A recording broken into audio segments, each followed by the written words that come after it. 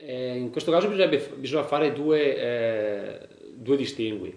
Per quanto riguarda l'Odrati slovensko, in questi ultimi quattro anni noi siamo, eh, abbiamo avuto un'evoluzione esponenziale, come dicevo prima, e eh, adesso mh, abbiamo avuto solamente un leggero rallentamento. Cosa significa? Significa che comunque sia, eh, io comunque stiamo lavorando come Odrati slovesco, non abbiamo subito eh, dei grossi cali, eh, abbiamo delle, dei rallentamenti che sono legati al momento.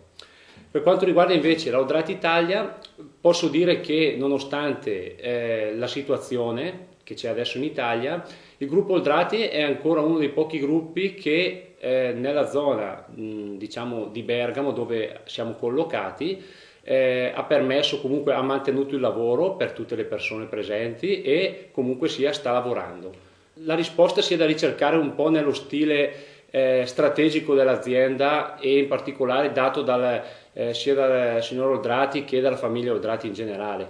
Ehm, abbiamo sempre fatto investimenti mirati, eh, non ci siamo mai persi diciamo, in, ehm, in, attività particolari diciamo, con, eh, senza che ci sia dietro qualcosa di concreto. Aver seguito il cliente nel modo migliore, ehm, cercando di soddisfarlo eh, nelle, nelle, sue scelte, nelle sue richieste e anche il fatto di essere aggressivi, eh, fra virgolette, sul mercato eh, ci ha permesso di avere maggiori ordini e maggiore sharing e, questo in questo momento di crisi è secondo me l'arma vincente. Pochi costi, pochi scialacqui eh, e diciamo una, un'attenzione al cliente molto importante.